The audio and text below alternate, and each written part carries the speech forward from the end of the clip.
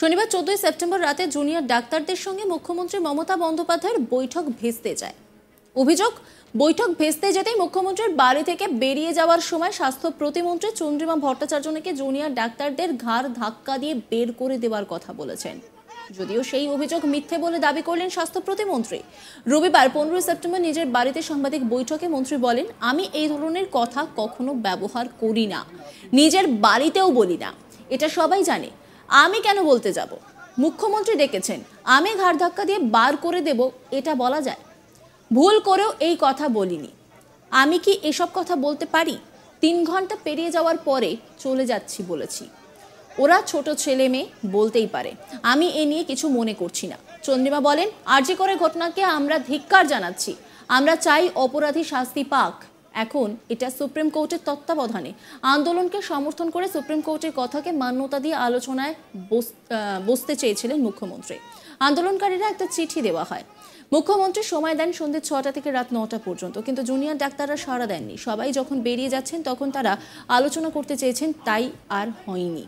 আমরা মাননীয় মুখ্যমন্ত্রীর নির্দেশ মতো রাজ্য সরকারের থেকে পদক্ষেপ করছি। মুখ্যমন্ত্রী জুনিয়র ডাক্তারদের বলেন এই রকম বৃষ্টিতে কষ্ট তোমরা করছ। সেখানে দাঁড়িয়ে বেশ কয়েকটা দাবি তিনি মেনে নিয়েছিলেন। কেউ যাতে না ভেজেন সেটাই মুখ্যমন্ত্রী বলেছেন। তিনি কতটা স্নেহপ্রবণ তাই বলেন যে মিটিং না করলে এক কাপ চা খেয়ে চলে যাবেন। চন্দ্রিমার কথায় একটা বাড়িতে চল্লিশ জন বসার জায়গা পেয়েছেন চল্লিশ জনকে আসার নির্দেশ দিয়েছিলেন। তিন ঘণ্টা অপেক্ষা করার পরে আধিকারিকরা সবাই, আমি যখন বেরিয়ে যাচ্ছি তখন ডাক্তাররা বলেন মিটিং করতে রাজি। মানে তারা যখন বলবেন তখন সরকারকে রেডি থাকতে হবে। কি বলছেন চন্দ্রিমা ভট্টাচার্য শোনাবো আপনাদের?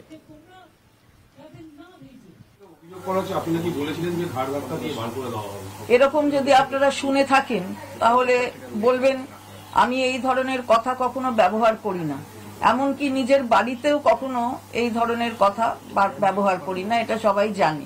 আমি কেন বলতে যাব? এখানে আমাদের মাননীয় মুখ্যমন্ত্রী, তিনি ডেকেছেন। আমি ঘাড় ধাক্কা দিয়ে বার করে দেবো, এটা বলা যায়? আমি তো যতগুলো দেখলাম, আমি কোথাও দেখতে পেলাম না যে আমি এরকম ধরনের কথা বলেছি কোথাও মানে আমি ভুল করেও বলে ফেলেছি কি না, নিজেকে ভাবছিলাম, কিন্তু দেখলাম না, এমন ভুলটা আমি কখনো করি না। কিসের জন্য ঘাড় ধাক্কা দেবো? ওরা ছোট ছোট ছেলে, আমার ছেলের মতন। আমি কখনো ঘাড় ধাক্কার কথা বলতে পারি? আমরা বলছি আমরা চলে যাচ্ছি। তিন ঘণ্টা হয়ে গেছে, তিন ঘণ্টা সময়, তারপরে আমরা অপেক্ষা করেছেন মুখ্যমন্ত্রী, এবার আমরা চলে যাচ্ছি। আপনারা দেখবেন বিভিন্ন যেগুলো ক্লিপিংসগুলো ঘুরছে, তাতে সেটা বলা রয়েছে। যদি কেউ ভুলে আরেকটু বেশি ওটাকে মানে বাড়িয়ে বলে সেটা ছোট বাচ্চা তো, ওরা বলতেই পারে, ছোট তো, ছেলেরা ছোট। আমরা নিশ্চিতভাবে মাননীয় মুখ্যমন্ত্রীও যথেষ্ট মাননীয় মুখ্যমন্ত্রীকে নিয়ে অনেক কিছু, অনেকে, অনেক সময় বলেছেন অনেকে, তিনি ক্ষমা করে দিয়েছেন।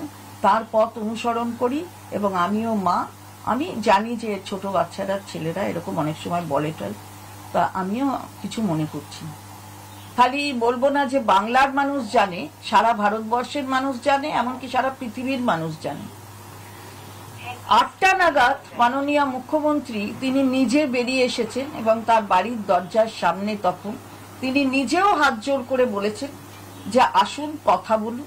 যদি কথা বলতে নাও চান, আলোচনা না চান, তাহলে এক কাপ চা খেয়ে চলে যাবেন কিন্তু আটটার পরেও নটা অবধি কেউ কিছু তার উত্তরে বলেননি। অর্থাৎ তারা কিসের আলোচনা করছিলেন কেন বললেন না, সেটা হয়তো তারা বলবে যে কেন তারা তার ছটা থেকে নটার মধ্যে তাদের সুবিধা হলো না দেখা করার অথবা আলোচনায় যোগ দেওয়ার।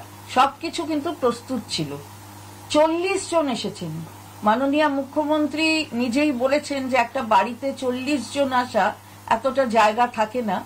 কিন্তু তা সত্ত্বেও ছোট এরা, সুতরাং তাদের কথাকে যথেষ্ট গুরুত্ব দিয়ে মাননীয় মুখ্যমন্ত্রী তাদের চল্লিশ জনকেই আসার কথা নির- নির্দেশ দিয়েছিলেন এবং অনুমতি দিয়েছিলেন। কিন্তু দেখা গেল যে তারা নটা অবধি কিছু বললেন না। যখন মাননীয় মুখ্যমন্ত্রী নটা অবধি অপেক্ষা করলেন, তারপরে সবাই যখন আধিকারিকরা এবং তার সাথে আমিও, যখন আমরা বেরোতে যাচ্ছি ওদের বলে যে আমরা বেরিয়ে যাচ্ছি, তখন ওরা মাননীয় মুখ্যমন্ত্রীর সাথে আলোচনা করবেন বলে বললেন যে তারা সমস্ত যা যা তাদের প্রিকন্ডিশন ছিল, সেই প্রিকন্ডিশনগুলো তারা, আর সেগুলোর উপর জোর দিচ্ছেন না, তারা মাননীয় মুখ্যমন্ত্রীর সাথে বসবেন। তো তিন ঘণ্টা মনে রাখবেন, আগে কয়েকদিন ধরে দু ঘণ্টা করে অপেক্ষা করেছে। আপনারা সেটা সংবাদ মাধ্যমে দেখিয়েছেন, মানুষ জানে। এবং তারপর গতকাল তিন ঘণ্টা অপেক্ষা করেছেন। তারপরে যখন তিন ঘণ্টা অপেক্ষা করার পরে বেরিয়ে যাচ্ছে সবাই, তখন তারা বললেন যে তারা দেখা করবেন। তাহলে এত যে সময় দেয়া হলো, তাহলে তারা যখন বলবেন, তখনই সরকারকে রেডি থাকতে হবে কথা বলার জন্য। এটা এটা যেন মনে হলো এরকমই একটা কোনো ব্যাপার। মুখ্যমন্ত্রী নিজে আটটার সময় তাদের কাছে বলেছেন। তাতেও সারা পাননি। তো আজকে বুঝতে হবে যে এই কর্মবিরতি মানুষের পক্ষে কতটা ক্ষতিকারক হচ্ছে। ইতিমধ্যে উনত্রিশ জন মানুষের প্রাণ গিয়েছে, এটাও সবাই জানে। শনিবার চোদ্দই সেপ্টেম্বর রাতে জুনিয়র ডাক্তারদের সঙ্গে মুখ্যমন্ত্রী মমতা বন্দ্যোপাধ্যায়ের বৈঠক ভেস্তে যায়। অভিযোগ, বৈঠক ভেস্তে যেতেই মুখ্যমন্ত্রীর বাড়ি থেকে বেরিয়ে যাওয়ার সময় স্বাস্থ্য প্রতিমন্ত্রী চন্দ্রিমা ভট্টাচার্য নাকি জুনিয়র ডাক্তারদের ঘাড় ধাক্কা দিয়ে বের করে দেওয়ার কথা বলেছেন। যদিও সেই অভিযোগ মিথ্যে বলে দাবি করলেন স্বাস্থ্য প্রতিমন্ত্রী।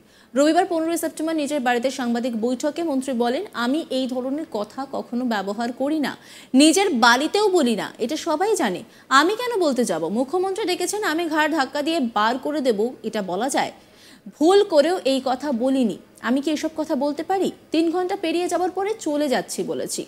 ওরা ছোট ছেলে মেয়ে বলতেই পারে। আমি এ নিয়ে কিছু মনে করছি না। কি বলেছেন তিনি শোনাব আপনাদের।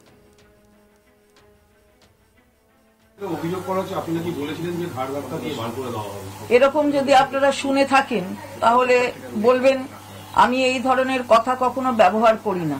এমনকি নিজের বাড়িতেও কখনো এই ধরনের কথা ব্যবহার করি না, এটা সবাই জানে। আমি কেন বলতে যাব? এখানে আমাদের মাননীয় মুখ্যমন্ত্রী, তিনি ডেকেছেন। আমি ঘাড় ধাক্কা দিয়ে বার করে দেবো, এটা বলা যায়?